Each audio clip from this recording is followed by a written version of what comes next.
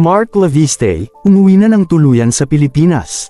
Welcome back sa SMP TV Updates. Malungkot ang nadarama ng Queen of All Media na si Chris Aquino, dahil pansamantala munang uuwi ng Pilipinas si Vice Governor Mark Laviste.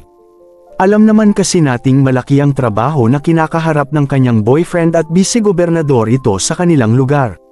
Madamdamin nga ang pamamaalam ng dalawa nang ihatid si Mark Laviste sa airport ni Chris Aquino. Pansamantalang nag-usap ng masinsinan ang dalawa, at tila mayroon sinabi si Mark Laviste dito. Bakas naman sa mga mata ni Chris Aquino ang kanyang pagkalungkot, at ramdam na niyang mangungulila siya sa presence ni Mark Laviste. Samantala, ganun din naman ang nararamdaman ni Mark Laviste at inamin nitong kung wala siyang trabahong kailangang tapusin, ay hindi pa siya uuwi sa Pilipinas. Ayon kay Chris Aquino, Iba ang saya na nadama niya sa bahay nila sa Amerika nang dumating ang vice-gobernador noong nakaraang linggo. Palagi kasing nagpapatawa si Mark Laviste kay Chris Aquino at hindi niya ito hinahayaan na mag-overthink sa mga bagay-bagay. Lagi din itong nakaalalay sa mga gustong gawin ni Chris Aquino at always on time magpaalala sa mga iniinom na gamot ng Queen of All Media.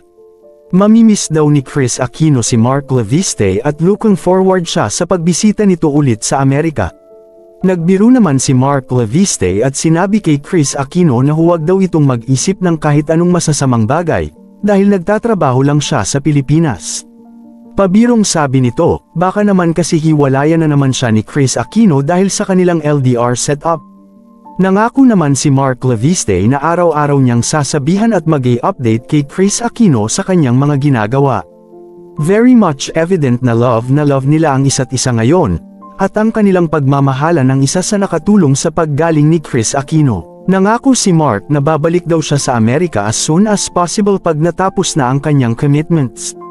Maraming salamat sa panunood.